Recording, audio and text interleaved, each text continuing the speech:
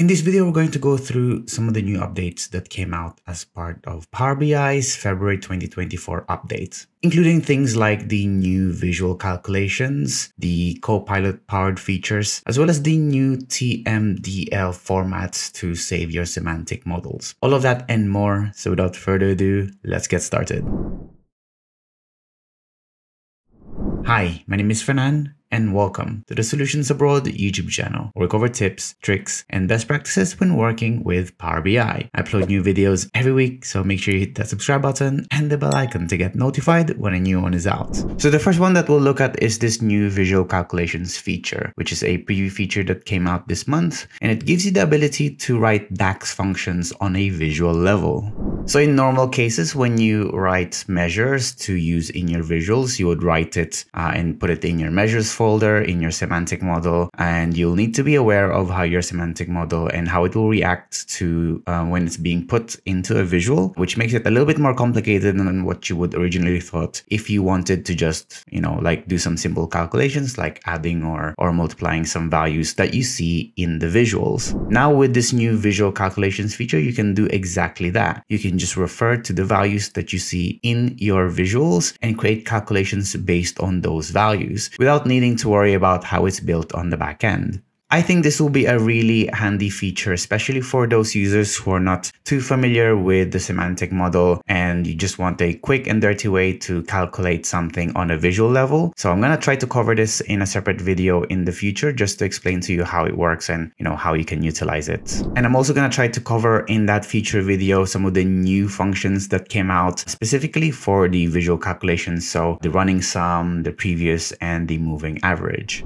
Dynamic subscriptions are now available in Power BI service, similar to the version that we saw on the paginated reports for the Power BI a few months back. So dynamic subscriptions, from what I understand, is essentially acts like a row level filter to your subscriptions when you set it up to go to your users. So if you're not already familiar with report subscriptions and how they work, I already covered them at least on a very basic level in a previous video. So go check it out if you haven't yet. And basically dynamic subscription is just an extension to that already existing component. The only thing that the blog post doesn't mention is that this is a premium feature. So if you have a pro license, you won't be able to take advantage of the dynamic subscriptions, only the normal subscriptions without these pre-filters that you can apply. So just be aware of that if you want to use this. On-object interaction now supports bulk updating formatting changes. So previously when you select multiple visuals, you won't be able to kind of change any values or any properties that are similar across these two visuals. Like for example, like just changing their position or changing their size, whereas you would normally be able to do this in other softwares. So now after this update, you should now be able to change some of the container properties that is shared across these visuals. So here's an example where two visuals are selected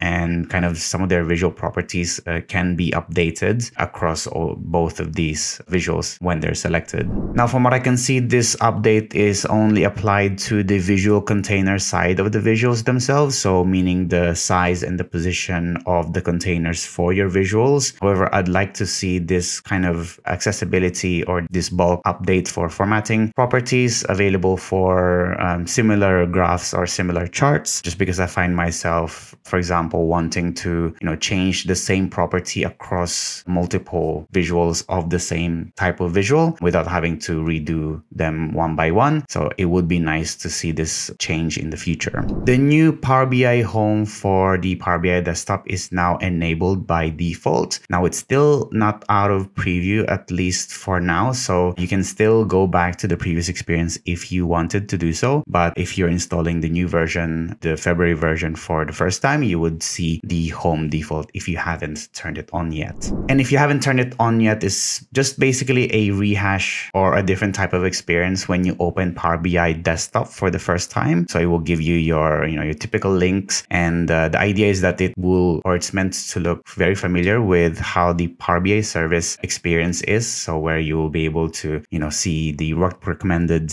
reports that you work on or the most recent ones that you've opened, how to create a new report. So I've been using it for a few months now since it first released and so far I've had no issues with it. So now it will be on by default for you guys. You can now generate measure descriptions using Copilot. So if you update your Power BI desktop into the February version and you go to the model view from the left hand side and click on any of your measures, columns or tables, you will now have this option create with Copilot, which is a button that you can click that will generate a natural language description of what your measure or what your calculation is doing. So when you click this button, it will generate that natural language description. And if you're not happy with that description or you think that is too vague or doesn't uh, hit the mark at all, you have a button to try again, which will regenerate a new description that you can either keep or remove if you wanted to. So one thing to be aware of if you're using uh, this feature and any of the Copilot features in Power BI is that uh, it uses data centers within the US. So what that means is that if you are outside of the US, like me, for example, I'm based in the UK, you will need to explicitly enable your tenants to share your data from wherever region you come from into the US data centers to be processed which is obviously a risk, especially if you're working with sensitive data. Your clients might not want to, for your data to leave the region where they uh, are working in. So just be aware that if you're using Copilot, you will need to make sure to enable this setting in your Power BI admin portal for you to be able to take advantage of these features.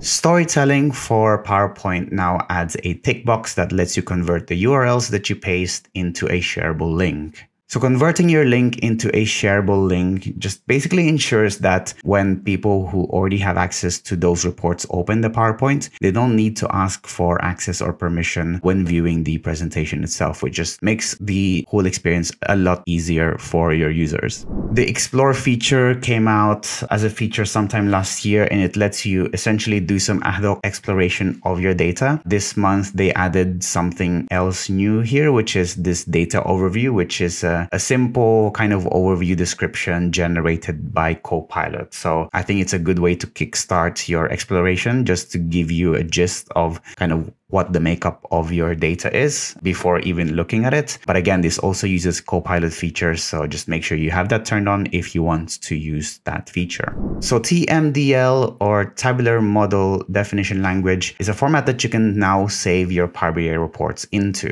So last year, they gave us the ability to save our reports into this Power BI project file, which basically lets us, you know, create a separation between our model and our reports and uh, gives us the ability to edit these values into like something readable like a JSON type format, which makes it easier for us to do any repositories in the future. So TMDL format seems to be the next level to this, where it gives you a proper definition and segregation for all the parts of your semantic model. So it gives you, you know, different structures for different parts of your semantic model. And it should now be available for you to save into TMDL formats from this month onward. I believe it's still a preview feature. So if you do want to use it, you just need to make sure you enable it from the preview settings. Lastly, I wanted to cover an update that was not part of the feature summary blog post, but it was also released in February, which I think is a really interesting thing to cover. Just some new ways to visualize your bar charts, which is uh, letting you overlap natively in the charts themselves, which I had covered in the past, but it's more of a hack rather than a kind of solution. But uh, it's good to see that now bar charts or, or just how you present them is becoming more and more uh, expansive. So uh, definitely I'm going to cover how we can review that original solution that I made and how we can take advantage of this new native feature. And that's really it for this update. As usual, I didn't cover everything that was in the blog posts, only the ones that were fairly interesting to me. If you want to read the full feature summary for this month's updates, I will leave a link somewhere in the description box below so you can read it for yourself.